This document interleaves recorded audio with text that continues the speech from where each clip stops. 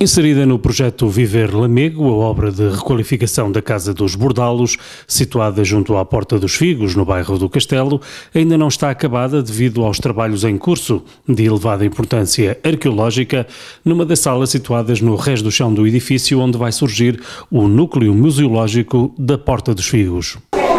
O objetivo é transformar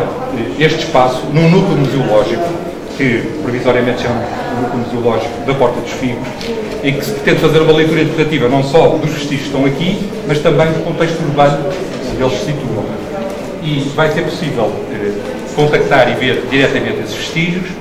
através, percorrê-los através de um passadiço, e ao longo desse passadiço estarão em vitrizes suspensas eh, as peças e a respectiva explicação do, do, que, do que se passou aqui ao longo de dois mil anos. Independentemente de se concordar ou não com a gestão que Francisco Lopes adotou na gestão do município ao longo da última década, há um pormenor que não podemos ignorar. A sensibilidade do Presidente da Câmara de Lamego em valorizar e investir nas escavações arqueológicas durante as obras que estão a decorrer no bairro do Castelo.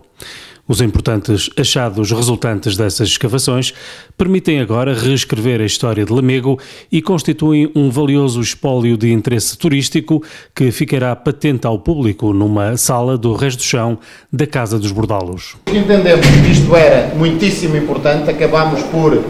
condicionar os projetos aos resultados da, da, da arqueologia, eh, condicionar o destino dos espaços eh, museológicos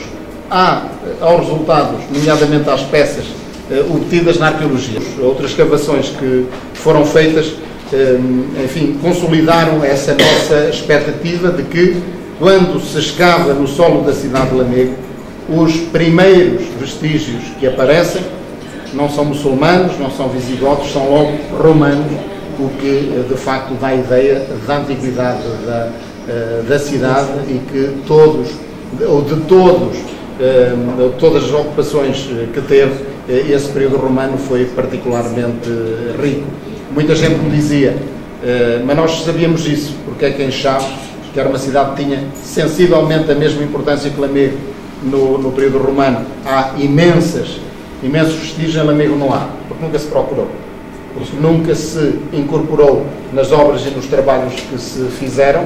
uma componente de arqueologia que tivesse a preocupação de mostrar aquilo que cá está e de aproveitar uh, a história. Isto tem contratempos e constrangimentos enormes. Não é só o custo do trabalho do, do Ricardo e da equipa dele, eh, ter as obras suspensas, ter aqui uma caminhoneta eh, e uma grua à espera que eles com a colher e com o pincel tirem a terra e encham o, o, o balde da grua,